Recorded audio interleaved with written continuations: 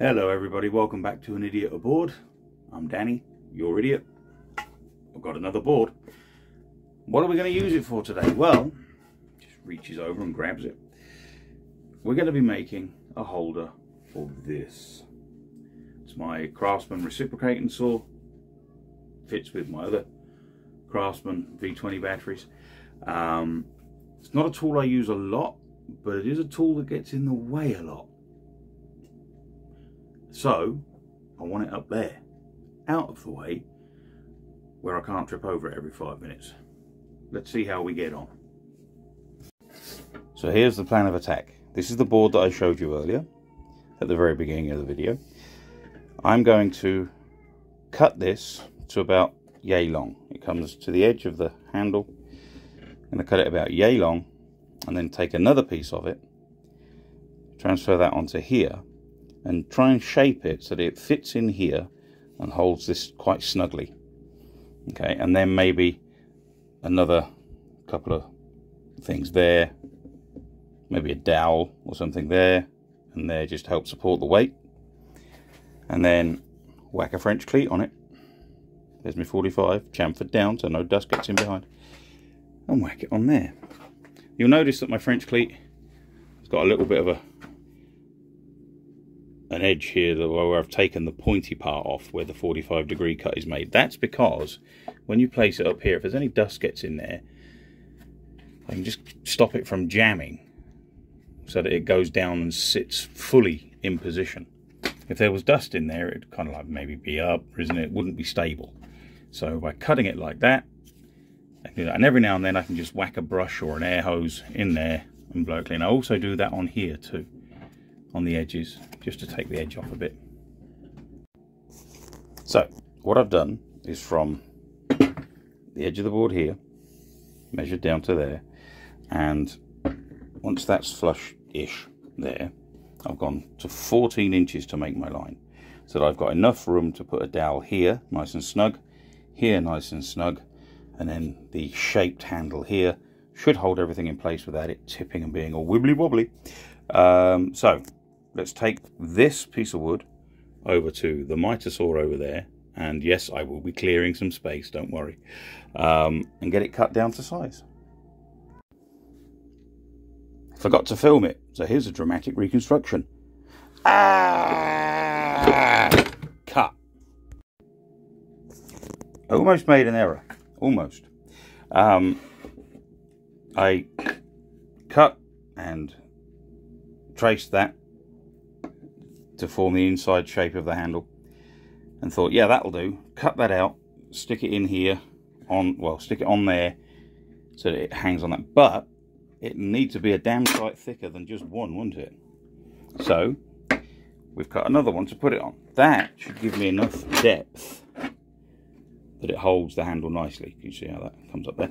So what I've now got to work out I don't know if I've got the right glue here or not um, but I'm going to join these together and I'm going to clamp it to a little desk I've got over there. Once they join once the glue's dry and then I'm going to try and jigsaw the two of them at the same time. Fingers crossed that it works. So I thought sod the glue. Let's put some screws in it.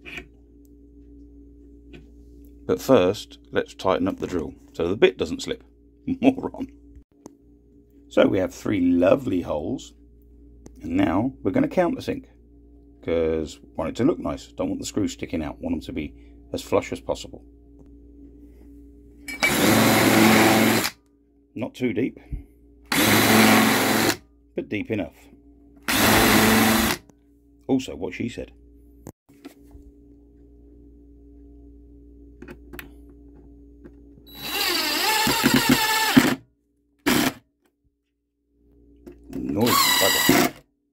Hey, come back.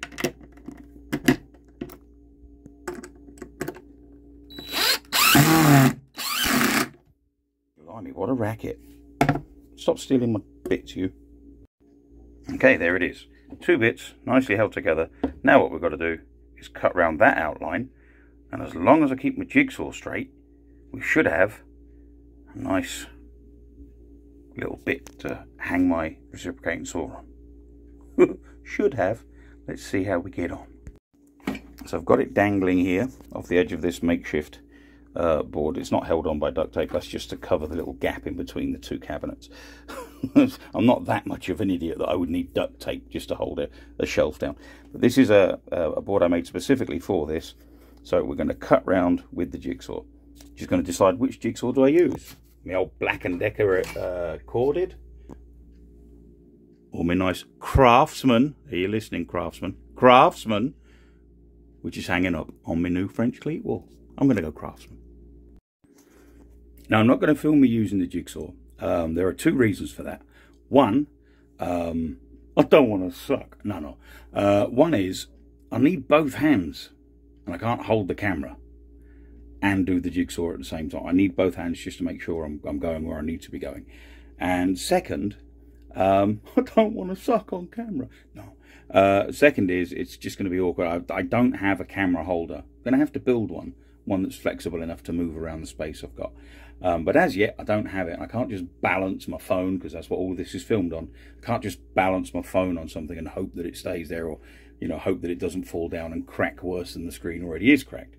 Um, so, yeah, I'll see you in a bit when it's hopefully nicely cut and I can go, ah, look how good I am. So I got as close as I could with the jigsaw, but I wasn't quite close enough all the way around. Um, so I'm going to have to try and sand some of it out with 60 grit. Um, I know I'm a bit far from some of the lines, but this is where I would really appreciate a bandsaw. You know, offering one for free. no, I don't have the money for that kind of thing right now. So we're just going to have to do the best we can. I shall cut this out, maybe chisel it out. We'll see how we get on. I'll get back to you in a bit. So that didn't work. So I've got to come up with another way of doing it. And I think I'm going to see what my dowel situation is. And we're going to just go 100% dowels. See how we go from there. So, as we know, the dowels, hang on, start. So, like I said, the dowels, too small, not long enough to sit in here. So what I've done is you can see I've marked this up. And you're thinking, Danny, what the hell are those little squares and crosses in there? Well, I'm going to fit, spin you around a second. I'm going to fit these. These are offcuts um, that I took earlier and I've cut them to size. This one goes here near the trigger, this one goes here, and I've marked them all. I know exactly where to drill to match them up. I'm going to drill through from the back. Well, I'm going to drill a guide hole here now and there, and then just bush. Same here. Again, I'm not using glue because these are not going to be permanent because eventually as I get better and better, I'll make improvements as we go. So they'll sit there like so, and then the handle will slip over them. I'm not going to put it on there now because, oh, maybe I can get away with it. And bosh. And they should be large enough to hold there. And then at the other end, I'm still going to put dowels into place there as well. That's the plan. So we move forward. Hmm. So I need to be as accurate as I can be with these. So I'm going to punch a little hole first, just to get the drill started um, without it wandering because sometimes a drill bit can wander especially on wood that's a little bit shiny and pre-finished like this old chunk. So a couple of holes banged in there. So now my drill bit won't wander and I'll do the same on these and we should match up the holes quite nicely. So I don't know if it shows up well here. Maybe if I change the angle a bit. I've traced the outline of the inside of the handle there that bit. So I've traced it out and what we're going to do is measure precise, well roughly, how big our piece of wood is. So we need about, what's that, three and three quarters by three inches. I think there's the smallest, so the mark there. Yeah, so we'll do three by three, three and a half by three, and then I'll cut it down. What I'll use is the offcut of this piece I'll cut a piece like across about three and a half inches deep and then I can slowly shape it to this hopefully this is where I wish I had a Dremel so there it is the finished French cleat holder for my reciprocating saw not what I, not what I planned initially because I wanted my nice hand cut molded piece of wood in there to fit the inside of the handle snugly. Didn't work out. Don't have the tools for it yet. But uh, not bad. Not bad at all, even if I do say so myself. Now, I got some old bits of metal that I'd use to brace here and here, just to help hold the weight a little bit more. I may even be able to put a slightly longer dowel in there, just to give it another point of contact. But I, think that'll be overkill. Yeah. Free product placement. Ooh. Uh, anybody listening, Craftsman? So there we go. I've uh, chucked my hands at my uh, random orbital sander up on the shelf for the batteries because I've got batteries are all they're all charging except for the two that are left in the drill and the impact driver. So I figured might as well get that up out the way for now. Got to put my jigsaw back. Um, a lot of good that was today. Anyway that's it for today guys. So I'll see you next time hopefully. Hope you found this interesting. Probably not. Anyway we'll catch you later. Bye